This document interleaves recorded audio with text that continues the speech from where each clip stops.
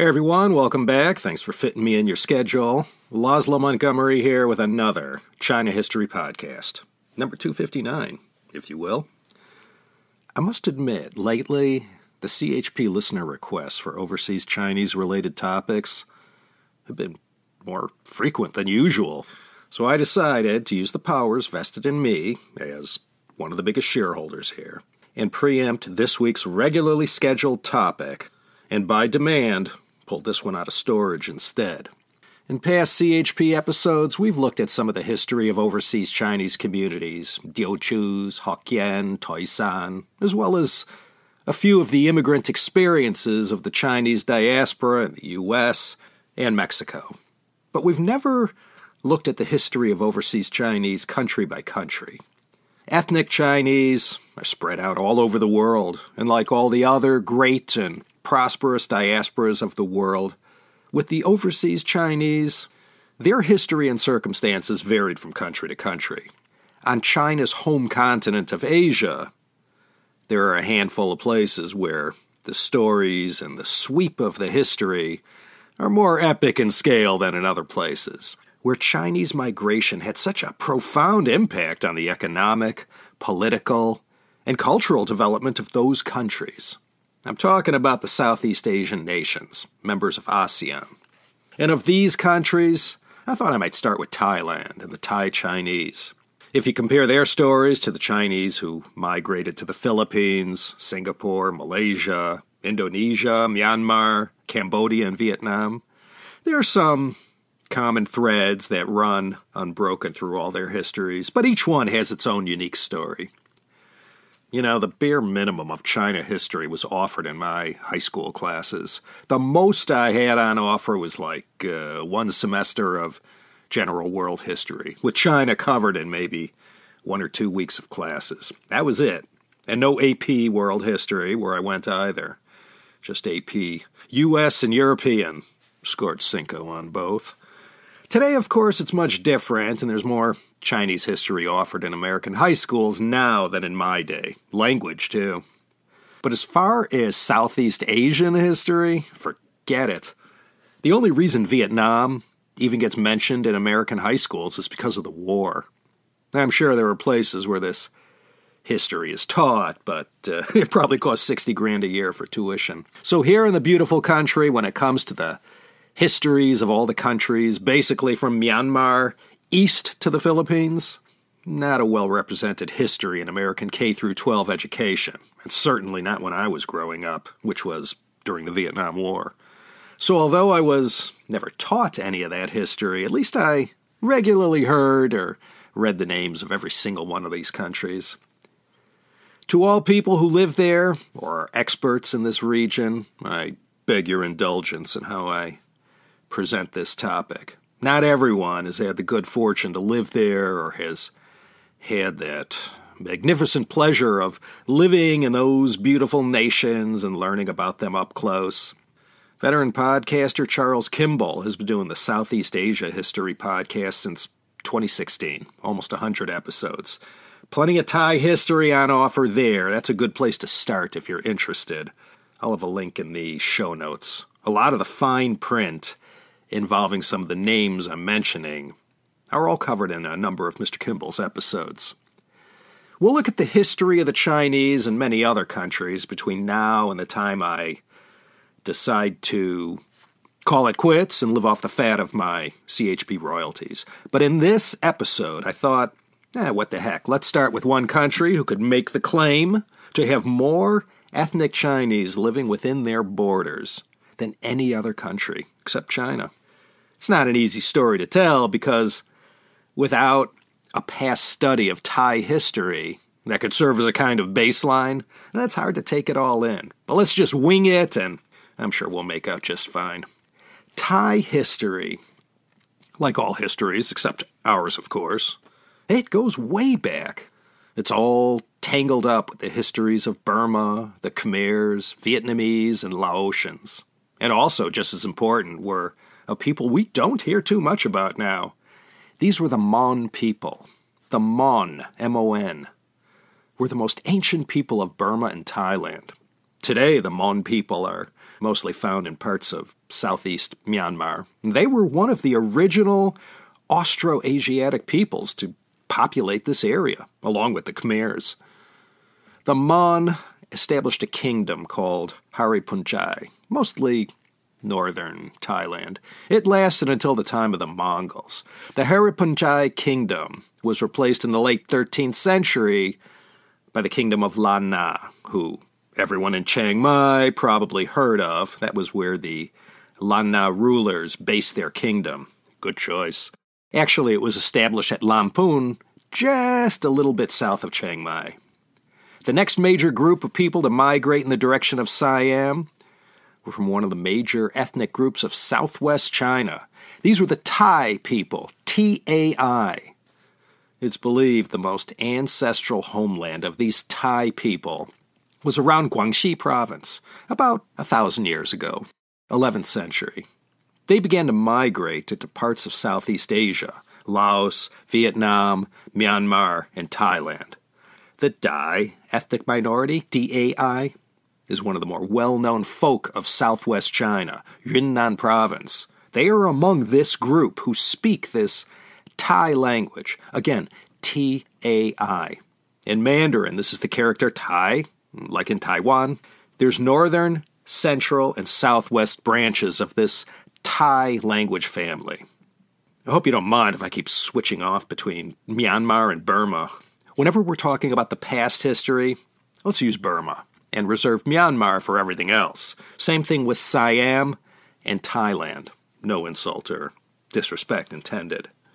So these Thai people, originally from the mountains of Guangxi, when they got as far as modern day Thailand, they settled there and mixed with the local Mon, married, assimilated, and what came about in central and southern Thailand were these new people who spoke a language from this Kra Dai linguistic branch. No one's 100% sure where the word for the Thai people came from. Perhaps from the word Sukhothai, the name of the first kingdom in those parts. As for the word Siam, well, it's thought this came from the Sanskrit word Siam. When the Portuguese, who we'll get to in a minute, when they came in the 16th century, well, they started using this term, Siam, as a moniker for this land. We'll get to this later, but Prime Minister Plek Phibunsongkhram, aka Phibun, June 24, 1938, he said from now on, our nation's to be called Thailand. That's when the switchover happened. Then in 1944 came the novel Anna and the King of Siam, followed by the 1946 hit movie with Yul Brynner and the 1951 stage musical of the same name. And Americans were confused for decades to follow Siam or Thailand? There's a whole lot to say about the Thai, T A I, people and their migration throughout Southeast Asia, seeding these new communities around those parts. And for the purposes of our story today, they played a rather significant role in the early history of today's great modern Thai kingdom. I'm skirting the history of Thailand. The gravity is drawing me in, but let's just give the main idea of the political situation happening there as it related to the earliest Chinese. The last and final immigrant group who, you know, like other ancient peoples before them, migrated to this beautiful land. I guess a good place to begin our story would be in the Ayutthaya Kingdom, 1351 to 1767. They were the ones who welcomed Admiral Zheng He during his seven voyages between 1405 to 1433. Three times his vessel sailed up the Chao Phraya. The Ayutthaya kingdom it was concurrent with the last decade of the Yuan, the entire Ming, and roughly the first 120 years of the Qing. So Ayutthaya figures quite prominently in our story. There are four principal kingdoms that we'll mention the Sukhothai kingdom, 1238 to 1438, and then running concurrent to the Sukhothai for 87 years was the Ayutthaya kingdom, as I said, 1351 to 1767. They would later absorb the Sukhothai kingdom into their state. And they were followed by the 15 year Thonburi kingdom, 1767 to 1782, essentially the reign of one king, who we'll look at later in part two, Taksin the Great. And finally, the Chakri dynasty or Bangkok kingdom of the present day. They've been the royal house since 1782, one year before the USA officially became a country, following the Treaty of Paris. Well, we know of the diasporas that followed certain historical events in China and elsewhere, but as far as the Big Bang, when the most brave and adventurous of all dared to set sail for these parts unknown, came during the 1200s and 1300s, the time of the Mongol conquests and the subsequent Pax Mongolica. Back then, the Sukhothai king had sent a number of tribute missions to China. If you had a pugnacious antagonizer in the region, it was to the Chinese emperor that lesser princes and kings went for support. And for the longest time, four political entities fought with each other incessantly for the Sukhothai, they fought constantly with the neighboring Mon and Khmer, who also lived amidst this rich Chao Phraya basin. During the 13th century, a first noticeable wave of Chinese took to the seas or came overland, and these, well, mostly unsung pioneers, were the very first ones to seed the cities that would grow around all the ports throughout Nanyang, as this region was referred to the South Ocean. This was the Chinese word for this whole Southeast Asian region. And when the next big Chinese wave of migration happened, these people were already present, in this case, during the Sukhothai kingdom. These earliest Chinese didn't go there for a vacation. They were pioneers who went for trade. Even though these times I just mentioned were before the age of exploration in the West, at least in these parts of the world. Well, it wasn't unheard of to board a ship and sail great distances. The Song dynasty was a very big age for shipbuilding, and China's first permanent navy was established in 1132, out of necessity, to fight the invading Jurchen Jin forces.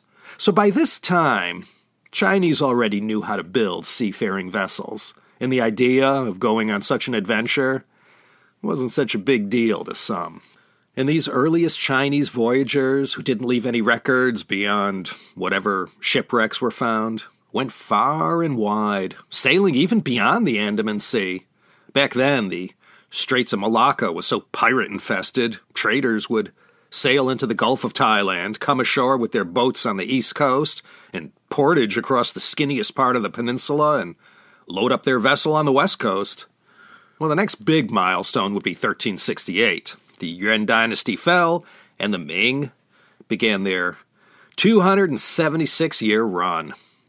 Ayutthaya is a city located just north of Bangkok, about an hour drive. At this moment in Thai history, Bangkok is still a, a minor place of no significance. In 1370, fortune smiled on the Ayutthaya king when he was invited to pay tribute to the new Chinese Ming emperor, who in this case was the founder of the dynasty, the Hongwu emperor, aka Zhu Yuanzhang. Why was this such a good thing for the king of Ayutthaya? Well, people back then knew what we know in our day that China was a great and powerful nation, and lesser nations were more than willing to pay tribute to China, where there was so much trade potential and the political legitimacy that, you know, went with the deal. So the earliest Thai Chinese relations, I guess you could trace back to this time, when the Hongwu Emperor instituted the first of several Hai Jin orders, or the banning of all private foreign trade. The Kangxi Emperor will do the same thing. But like it is with true love, well, trade always finds a way. Though the penalties were severe if you got caught defying this royal ban, private trade still continued. As long as you didn't get caught, it was a very profitable enterprise. The Ming Emperor had sent an envoy to Ayutthaya in 1370, where the king there was formally recognized as the legitimate government. The Sukhothai kingdom was still around, but again, they were already under the thumb of the Ayutthaya king. Government sponsored and regulated two way trade became the main conduit for commerce, and this came in the form of structured tribute trade which was still very worthwhile for the loyal kingdoms and principalities who came to bow before the emperor and present gifts. They never walked away empty handed. And then came the Yongle Emperor, 1403 to 1423. He's famous for many things, and one of them for sure was his personal backing of the voyages of Admiral Zheng He and the golden age of tribute trade that these epic voyages ushered in. There's nothing in the official record that mentions Zheng He's personal visit, but it was suggested that Ma Huan, also a major figure in this great Chinese fleet, did visit Ayutthaya that would have been on the 1413 expedition, the fourth. And into the 15th century, all these men who sailed with this fleet and on these enormous treasure ships, they went back to China with tales of miracles and wonders of this incredible land, Nanyang, Southeast Asia, and all the riches to be had there from well, commodities that were strongly in demand in China and freely available there and the siren song that in our time attracts so many people from all over the world. Well, so it was in Ming Dynasty China. And if you had innate entrepreneurial smarts and feared not the challenges of getting to these new destinations, or perhaps already had a friend or fellow villager already set up there, there was no better place in all the world. So, in the wake of Zheng He's voyages and everything they opened up, there came more and more Chinese migrants. 1412 was a banner year. A Chinese based in Ayutthaya became the first Siamese ambassador to China and became very involved in all the tribute trade missions, and this continued to fan the flames of growing Chinese Siam trade. The Haijin or sea ban was still in effect, but everyone knew this wasn't going to last forever. Remember, it banned private trade, and prohibited Chinese from leaving China for other lands. So the Chinese who were already present in Thailand prior to the Ming were perfectly positioned to be the king's agents in carrying out these tribute trading missions and assist in the political relations with the Chinese state. A century later, when Afonso de Albuquerque showed up in that part of the world, well, he depended on local Chinese who carried messages to the king in Ayutthaya. At this time in history, the Portuguese were on a roll and eager to establish trading relations with this kingdom. By the 1600s, there was already a well established Chinatown in Ayutthaya. Chinese men came, always men, and because of the dearth of Chinese women to marry in Siam, well, they did what came natural and took local wives and the famous assimilation stories that Thailand became so famous for uh, began to pick up steam. Back then, a child born of an ethnic Chinese father and a local Thai mother was called a Lok Chin, as opposed to a Lok Krung for anyone else of mixed Thai parentage. Sorry about that pronunciation. And all throughout the 1600s and into the 1700s, more Chinese made their way to Thailand, and communities began to mature throughout Ayutthaya, all along the Chao Phraya River. And besides Ayutthaya, a sizable Chinese community had sprung up in Ligor, in the south of Thailand, East Coast, Malay Peninsula. This former kingdom today is located in the city of Nakhon Si Thammarat. The Europeans called this land the Kingdom of Ligor. To the south of Nakhon Si Thammarat, there was another rather important city in the history of the Thai Chinese called Pattani. Among this city's claims to fame was that it was the later home of one of the most notorious Chinese pirates during the most notorious periods of piracy in the South Seas. And though this person's life is made up of a number of legends that no one could prove or disprove, stories of his feats and adventures were faithfully passed down generation to generation. And one of these stories purports that it was this famous 16th century pirate, Lin Dao Qian, after a long and violent life raiding, plundering, and murdering people in cold blood, well, he settled down in Pattani. And after being made persona non grata at every other port of call in Asia, he turned that place into a dangerous pirate lair in no time at all. Lin Dao Qian, or Lim To Kiam, as he was known in his native Chaozhou, sorry about that pronunciation again, this is where he settled down when he hung up his pirate sword. And this pirate from Jieyang, or Shantou, no one's really certain, it was said that it was this man Lin Daoqian, who sent out the call to his hometown, and from this time began the massive wave of Teochew migration to Thailand. Today, of the maybe, I don't know, 15 million or so ethnic Chinese in Thailand, more than half, almost 60%, trace their ancestry back to the surrounding villages or cities of Jieyang, Chaozhou, and Shantou. And just over the border, in this easternmost tip of Guangdong province, was Fujian. And these Hokkien of Zhangzhou and Xiamen, they too followed in the footsteps of the Teochews, and today in Thailand, numbers wise, are ranked, well, a very distant fourth, tied with the Cantonese. As far as today's population of ethnic Thai Chinese, after the Teochews, second place would be the Hakkas, followed by the Hainanese. And if you gave a 23andMe ancestry test to the entire Thai population, well, there's strands of Chinese DNA far beyond the numbers who identify as ethnic Chinese Thai.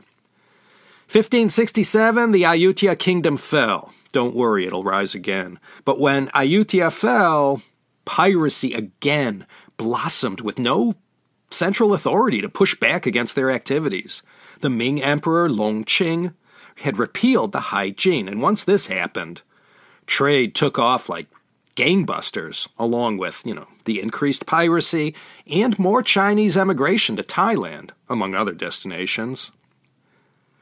The nemesis of the Ayutthaya kingdom were the Burmese to the west. They were most persistent in their attempts to destroy Ayutthaya.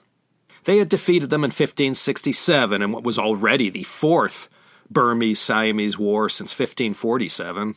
It had a mentionable bit of excitement concerning the time when Ayutthaya rose up and rebelled against their Burmese overlords. Just when the formidable 16th century Burmese army went in for the kill, a miracle happened. A great Burmese warrior crown prince was, well, if you believe the legend, killed in a duel to the death, riding atop elephants, no less. And in the aftermath of this fight, the Siamese king in 1592 emerged victorious, killing this Burmese crown prince. Other versions of the crown prince's death claim other explanations of his death. So, following this incident, the Burmese army quit the Siamese campaign and went home, but they'd be back with a vengeance later. For now, the Ayutthaya kingdom caught a breather and tried to pick themselves up off the ground and get back in the game. One thing was for sure as the 17th century dawned, Southeast Asian trade was becoming more and more crowded and developed, and there were huge demands for all the exotica and woods that these Nanyang kingdoms had to offer, and the Siamese demand for Chinese goods was as great as it was with the Europeans. By the time the Westerners traveled to Ayutthaya to explore trade opportunities, they found it completely locked up and controlled by the Chinese, who, in all fairness, had, you know, a hell of a head start. If the foreign traders wanted to do business in Ayutthaya, they had to deal with Chinese middlemen, and they didn't like that. But with so much at stake, the Europeans, as well as the Japanese, fought a very aggressive, protracted battle with the Chinese to muscle in on some of the action. During the 1600s, the Dutch and the Japanese were the leaders of the pack of foreign trading nations plying those seas. Japan, in particular, was playing for keeps in Siam and set up trade centers up and down the peninsula. By 1620, Japan had become the largest and most important trading partner for Siam. You see, by this time, the Ming Dynasty was almost, but not quite, on its last legs and only had a couple dozen years of life left in them. And as it happens, going back to the death of Qin Shi Huang in 210 BCE, there's always a period of instability in between the newly fallen and newly established dynasties. And with China in chaos, eh, it put a crimp on trading operations, and this was where Japan was able to step up and fill the holes in the China goods supply chain. If Chinese porcelain was too difficult to obtain, well, Japan also made excellent porcelain, and silk products too. So, in these decades of the early to mid 17th century, leading up to the dawn of the Manchu Qing dynasty, Japan became well, the Siamese king's favorite and most lucrative trading partner. And in what will become a rather familiar tradition across Southeast Asia during this late Ming Dynasty period, ending in 1644, the Ayutthaya Chinese will come to dominate trade, shipping, and manufacturing. And they had successfully insinuated themselves into the good graces of the royal family to the extent that they enjoyed all kinds of preferential treatment that was not offered to the Europeans, the ethnic Thai, Lao, Mon, Khmer, and Vietnamese. They paid taxes and fees that, well, the Chinese were given a pass on. But you know how it goes a crisis of succession, a political upheaval, and sometimes it's not a case of meet the new boss same as the old boss. When King Prasat Tong ascended the throne in Ayutthaya, he enacted a royal trade monopoly. This was in 1629. Well, that put a damper on the extremely cozy and profitable arrangement that the Ayutthaya Chinese had enjoyed for all these years. All the key commodities had to go through the king, and he granted licenses to those who would be allowed to carry out trade in the king's name. No more trading on your own account, which was way more profitable. It was Goodbye special privileges. Like China, 1949. Not the end of the world. Time and again, over and over, stuff happens. The overseas Chinese community adapted. You couldn't fight the king. This was the way it was, and if what was previously unregulated now became regulated, what else could one do except go along with the royal monopoly? King Prasatong figured out right fast this whole trade thing was slightly more complicated than it looked. No problem, thought the king. I'll just go subcontract all the supply chain logistics and negotiations to the Chinese. And it didn't stop there. Many of these Ayutthaya Chinese, in addition to being invited in to assist the Siam royal monopoly, well, many were also welcomed into the civil bureaucracy to help manage the economy. So these Ayutthaya Chinese, eh, they made out okay and they caught another nice break in 1632 when King Prasatong kicked all the Japanese traders out of his kingdom. They had not supported him in his power struggle, so the entire Japanese colony of Ayutthaya faced a king bent on retribution. And this act put Siam Japan relations on indefinite hold for a long time. If either country had commodities that the other desired, Trade only went through middlemen from now on, and the Ayutthaya Chinese traders were more than happy to step in and be those middlemen. Japan and Siam, no direct trade for the foreseeable future, like the US and China, 1950s and 60s. King Prasatong only tolerated the Chinese. Same with the Dutch. They still remained in the game, and though the royal trade monopoly remained in force, little by little, private traders started testing the waters and getting back in the game. And then finally, 1640s, China is in one of its periods of great chaos as one dynasty sinks below the waves and a new one rises. And with no government around to police the seas, piracy made another huge comeback, and no place was safe from all the horrors that pirates famously inflicted on full cities, towns, and on individuals. These are the times of such legends as Li Dan, Zheng Zhilong, and the Shibazhi, as well as Zheng Zhilong's famous son, Zheng Chenggong, better known in the West as Koxinga. On October 22, 1633, Zheng Zhilong's fleet had handed the Dutch East India Company a terrible defeat, the siege of modern day Tainan on the island of Taiwan. This defeat knocked them out of the competition for trade between China and Japan. But soon afterwards, the Kangxi Emperor will step into this sorry state of affairs and institute his horribly draconian Haijin, or sea ban of 1662 to 1681, and push back just enough to bring piracy back under control. This sea ban called for everyone to burn their boats and move inland 11 to 18 miles, creating this no man's land where nothing could exist and there was nothing convenient along the coast anymore for pirates to plunder. And one more thing. After the Ming Dynasty fell and the Manchus took over as masters of China, well, part of China, it would take time to control everything. But in the ensuing chaos of the Manchu takeover, a lot of Chinese in Fujian and Guangdong and other places as well. Well, they got the feeling that the good times were over, and once again there was another wave of emigration to Nanyang. Time and again, there was nothing like a social upheaval to give people the idea to look for greener pastures elsewhere. The Hokkien tended to migrate to the south of Siam, in Ligor or Nakhon Si Thammarat, and the ever growing population of Teochews, they clustered in Trat and Chantaburi, places that today are about a three and a half hour car ride from Bangkok, driving southeast. So between the Haijin sea ban and the social unrest at the change of the dynasty in China, a lot of people in Fujian and Guangdong jumped ship. And to commercial port cities of Nanyang, most went. And though Zheng Zhilong later went from pirate to Qing loyal bureaucrat, his son Koxinga kept on fighting till the very end. And as we all recall from past CHP episodes, although the Qing dynasty officially took over in 1644, it took them decades to tamp down the last of Ming loyalist opposition.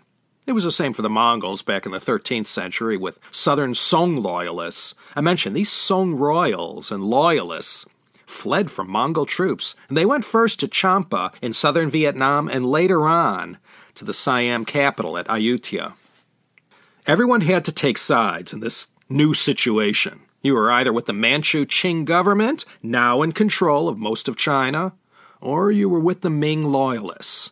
In 1665, Zheng Jing came to Ayutthaya to pay a formal visit. He was Koxinga's son, the next generation. And the king of Siam at this time, ruler of the Ayutthaya kingdom, this was the very long reigning and historic King Narai, Narai the Great, the son of King Prasat Thong. He ruled from 1656 to 1688, concurrent with Kangxi, though not as long lasting. King Narai kept a royal foot in two boats, maintaining relations with the Ming loyalists as well as with the Qing court. His priority was to grow trade, and grow it he did. This period under King Narai saw the Ayutthaya kingdom at its most prosperous. Koxinga had kept the sea lanes open and safe for Siam China tribute trade, but at a price, of course, and this was to his insistence to maintain a presence in Ayutthaya and the freedom to carry out trade and commerce there. The king of Siam was able to continue using the fig leaf of tribute trade in order to get around all the restrictions that all other foreign nations had to put up with when trying to carry out China trade. I mentioned how the Dutch traders in 1604 had muscled their way into Ayutthaya and competed head to head with the local Thai Chinese for the lucrative Japan trade. Well, after King Prasat Thong ejected the Japanese from the kingdom in 1632, the Chinese, of course, were kind of wishing to have all of that business to themselves.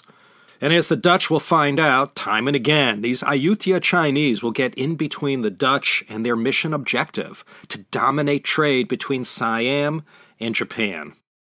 And after the Dutch were kicked out of their Taiwan stronghold and afterwards began getting harassed and defeated on the high seas by Zheng Zhilong's pirate fleet, uh, the Dutch East Indies Company, the VOC, they were really feeling the squeeze. They fought back hard and refused to be pushed around by the local Chinese who were in cahoots with the Ayutthaya court.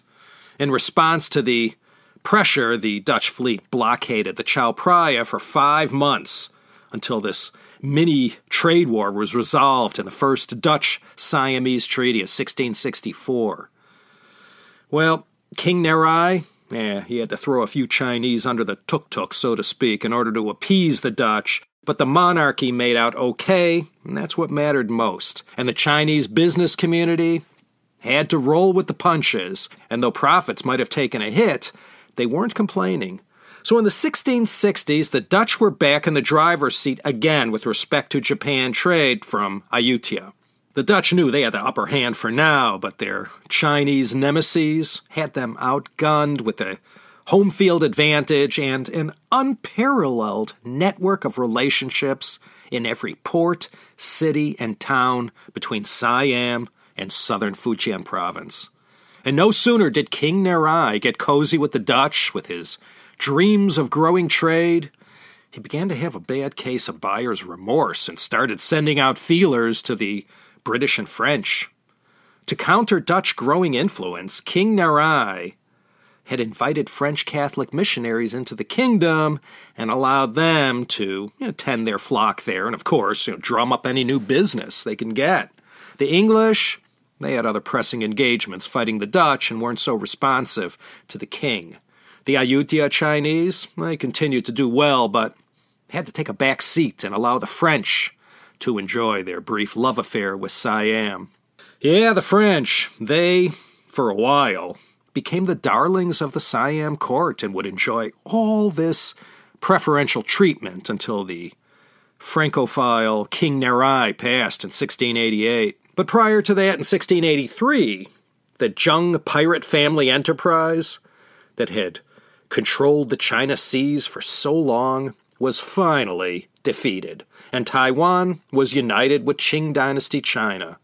The next year, Kangxi, with the Zhengs out of the way at last, felt secure enough to rescind the Haijin sea ban. And with everyone once again allowed to populate the coastal areas, well, this understandably had a huge impact on the proliferation of trade between China and Siam, allowing the Ayutthayan Chinese to enjoy another in a series of golden ages, being perfectly placed throughout Southeast Asia to provide the engine power to restore China trade after a 28 year ban. And as I said, when King Narai met his tragic end following the Siamese Revolution of 1688 and the Siege of Bangkok, one of his advisors usurped the throne and declared himself King Phetracha. One of the first things he did was to show the French the proverbial door. They were expelled, and quite brutally too, if I may add. And with the Dutch and Portuguese already in retreat, that meant once again the Ayutthaya Chinese had Siamese trade all to themselves. And I think we'll pick up with King Phetracha next time in part two, and we'll finish up the events that happened under the Ayutthaya Kingdom. We'll look at the first Thai king who was part ethnic Chinese with roots stretching all the way to Chaozhou, Taksin the Great, and we'll keep on going until someone cries out enough of this already. Qing Dynasty from here on out, so we know Nanyang, Southeast Asia, is going to be one of the main centers of attention as we get closer and closer to the 19th century. We'll focus on the Thailand aspect of that and the role of the Thai Chinese. Okay, that's it. Time to close down for the day. This is Laszlo Montgomery signing off from Los Angeles, California, home of the NBA 2020 World Champion, Los Angeles Lakers. LeBron, AD, and company. Gongxi nimen is all I can say. Sorry about those nuggets, uh, Matt Sheehan. Shouldn't you be a Warriors fan? All right, me little beauties. Won't you think about coming back in two weeks' time? Same bat time, same bat channel for another exciting episode of the China History Podcast.